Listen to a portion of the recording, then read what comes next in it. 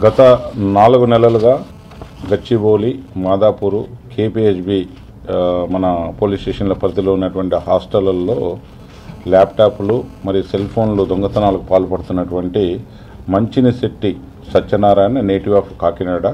ఇతను ఎంఫార్మసీ చదివినాడు.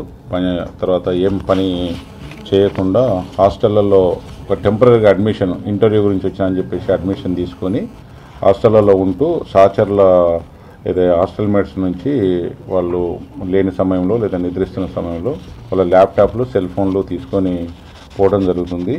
ఇవన్నీ కూడా మనకు seventeenth September two thousand twenty నుంచి మన గచ్చిబౌలి నుంచి మొన్న థర్డ్ జనవరి వరకు మన కేపీజీ పరిధిలో చేసినాడు.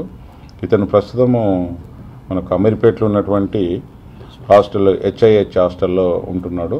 అతన్ని ఈరోజు మార్నింగ్ ఆరు గంటలకు సెవెంత్ ఫేజ్లో ఉన్నటువంటి వెజిటబుల్ మార్కెట్ దగ్గర అనుమానాస్పదంగా తిరుగుతుంటే అరెస్ట్ చేసి ఇంట్రాగేట్ చేయడంతో ఈ నేరాలన్నీ ఒప్పుకున్నాడు.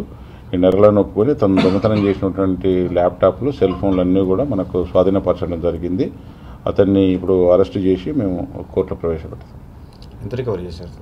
మనకు టోటల్గా ఆరు ల్యాప్టాప్లు రెండు సెల్ ఫోన్లు టోటల్ వర్త్ వచ్చేసి మూడున్నర లక్షల వర్త్